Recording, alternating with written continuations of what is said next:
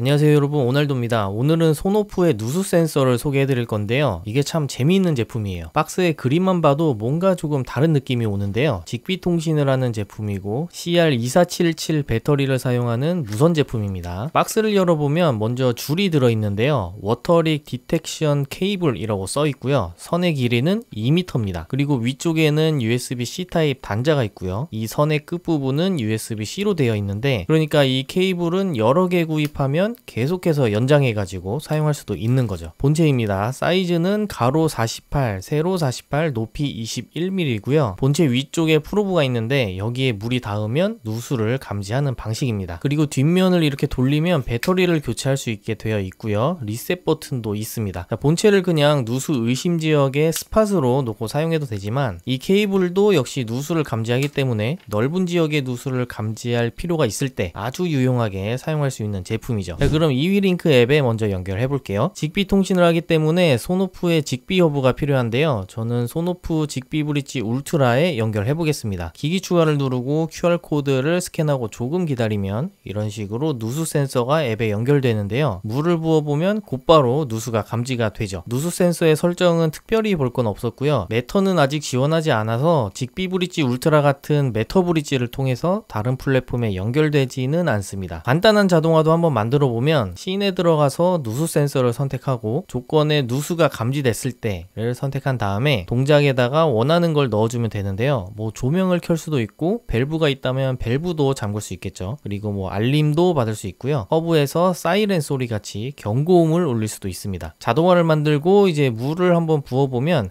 제가 작성한 대로 누수 감지 알림이 왔고요. 정상이 됐을 때도 정상이 됐다고 알림이 왔습니다. 자, 이번에는 누수 감지 케이블을 테스트 해 볼 건데요. 이 케이블 아무 곳에나 물이 닿으면 누수가 감지된 걸로 판단을 합니다. 이쪽을 이렇게 물에 담궈 보면 바로 누수가 감지됐죠. 선 길이가 2m니까 정말 넓은 구역을 커버할 수 있다는 아주 큰 장점이 있습니다. 그런데 물에 한번 젖은 선은 마르기 전까지 누수 감지 상태를 계속 유지하기 때문에 누수를 처리한 뒤에는 선을 말려 말려줘야 한다는 점이 주의사항이라고 할 수 있겠네요. 자, 이번에는 SmartThings 허브에도 연결해 보겠습니다. 이 SmartThings 허브나 스테이션 같은 Zigbee 허브가 있으면 연결할 수 있는데요. SmartThings 허브의 Sonoff 제품들을 공식적으로 연결할 수 있는데 이 누수 센서는 아직 목록이 없더라고요. 그냥 주변 검색을 해주면 장치가 뜰 건데 이렇게 누수 센서로 등록이 됩니다. 테스트를 해보면 정상적으로 누수를 바로 감지하고요. 알림도 오고 뭐 대시보드에도 누수 감지 표시가 되는 걸 볼 수 있죠. SmartThings에 연결된 연결된 밸브가 있다면 이렇게 누수가 감지됐을 때 밸브를 잠그는 자동화도 사용할 수 있죠. 가격은 공식 홈페이지에서 센서만 구입했을 때 9.90달러, 센서랑 케이블을 세트로 했을 때는 15.9달러고요. 케이블만 별도로 추가 구입하면 7.9달러입니다. 알리에서는 뭐 센서가 15,200원,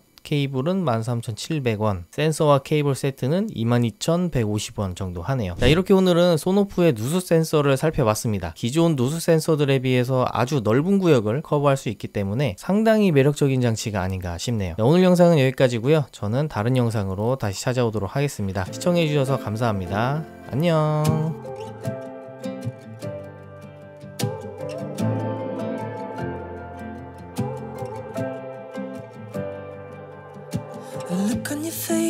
Me we'd be alright.